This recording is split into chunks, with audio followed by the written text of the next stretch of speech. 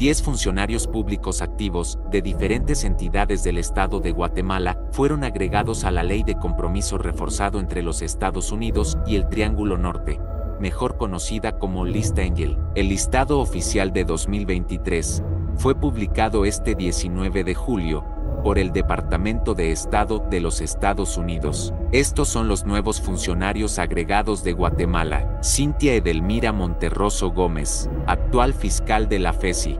Edgar Humberto Navarro Castro, expresidente del administrador del mercado mayorista de energía de Guatemala. Freddy Raúl Orellana Letona, juez séptimo de instancia penal.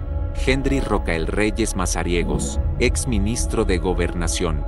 Joviel Acevedo Ayala, actual líder del Sindicato de Trabajadores de la Educación de Guatemala, STEG. Jimmy Rodolfo Bremer Ramírez, actual juez, ordenó investigar a varios periodistas de El Periódico. Lester Castellanos Rodas, ex juez y actual relator guatemalteco contra la tortura. Melvin Quijivix Vega, el actual presidente del Instituto Nacional de Electrificación.